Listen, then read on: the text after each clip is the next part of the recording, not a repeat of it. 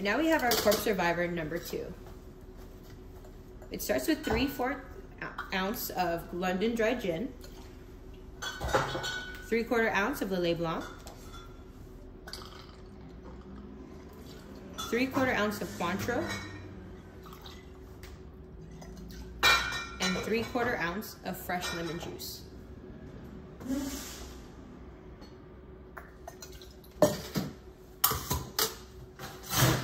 Now additionally, we want to have a chilled coupe glass rinsed with absinthe.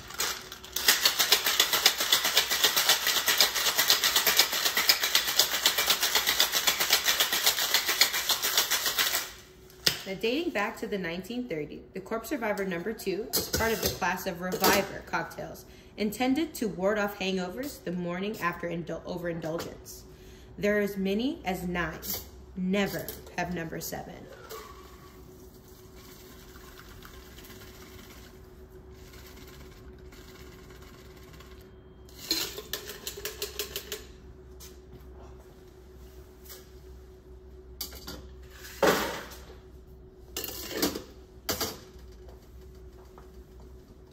Corpse Reviver number two.